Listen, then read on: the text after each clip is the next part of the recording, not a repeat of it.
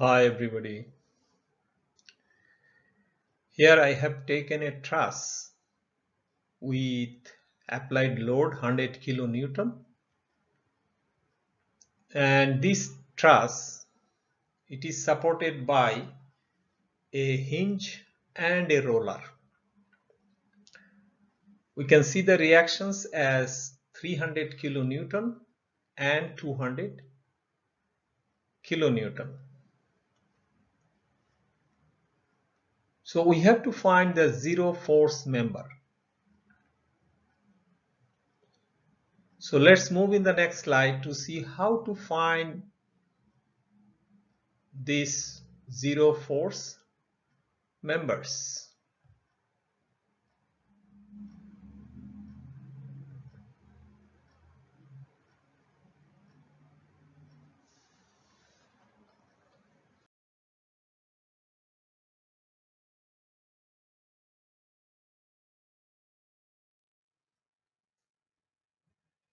So I am taking the truss at the right hand side to do work on the left. Here I am writing two case, case number one and case number two. Basically these two case we have to apply on this truss to find the zero force members.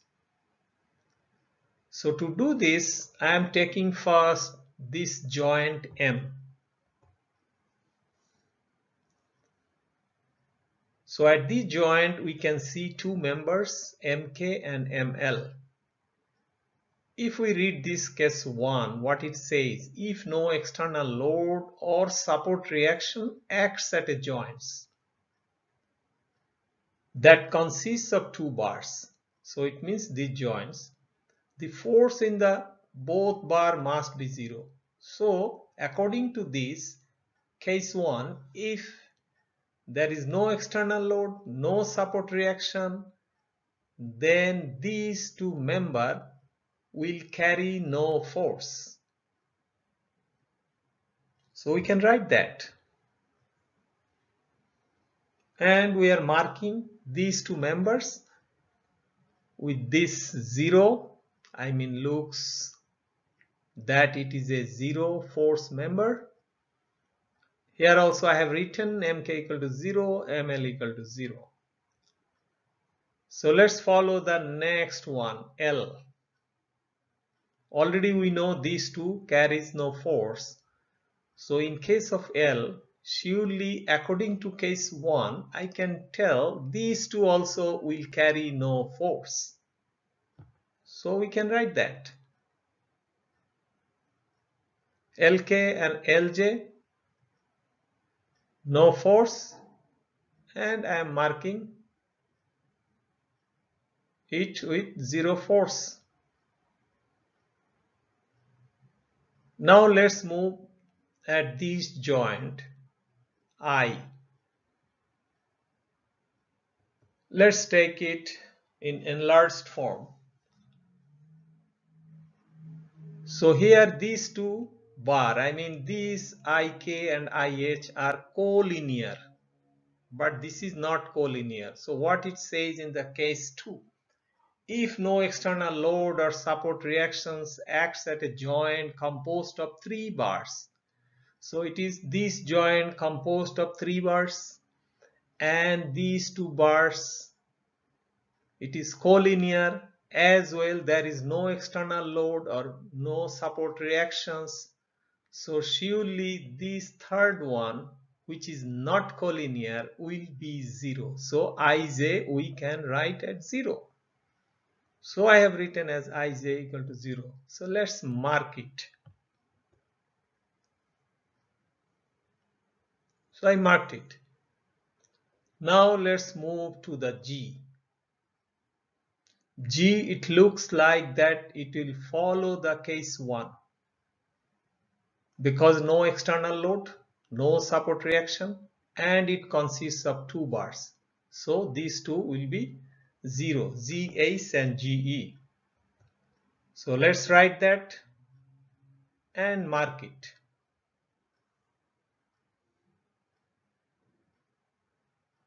Now let's move at B. Here at joint B, this 300 kilonewton force and this BD are collinear. So this third one BA it is not collinear so it will be 0 as well for the whole truss if we look at it there is no horizontal force so BA must be 0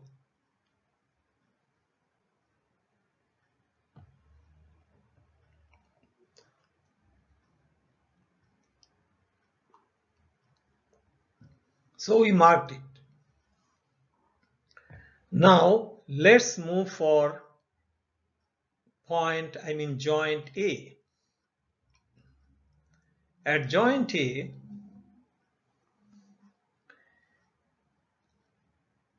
if we take the horizontal component of AD, horizontal component of AB, I mean AD, it will be actually through AB.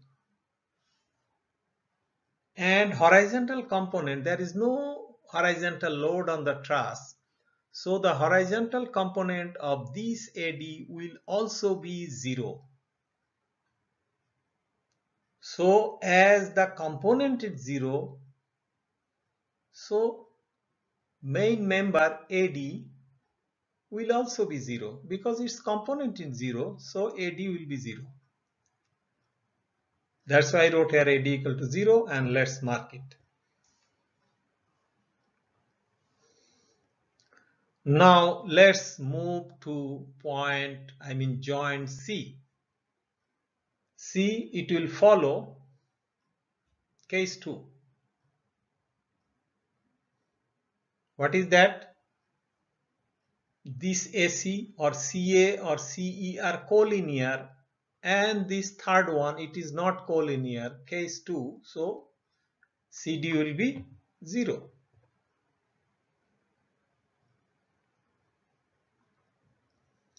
Now we move to joint D. So let's mark it first CD also. Now if you look at this joint D, you can see this is no force. This one also no force. And this BD and DF these two are collinear so according to case 2 our this third one which is not collinear will carry also no force so we can put also 0 and here I have written at joint D also DE equal to 0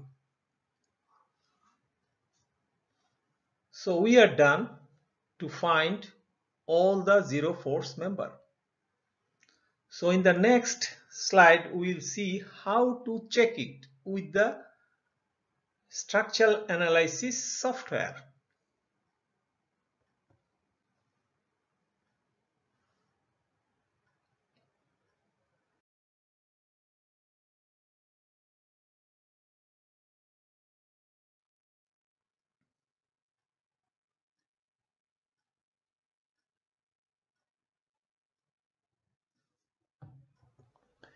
Here in this software, I brought the same truss exactly which was in our previous slide.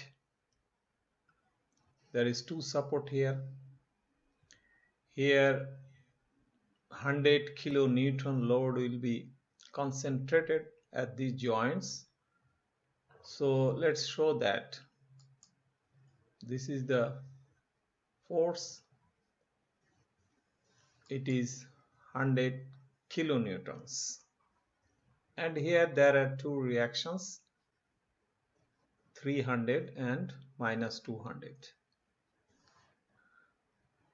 we need to find here the zero force members.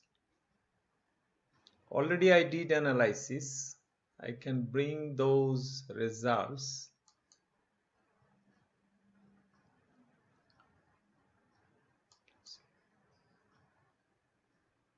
force component. Here in parameters putting text applying this. So I got these results.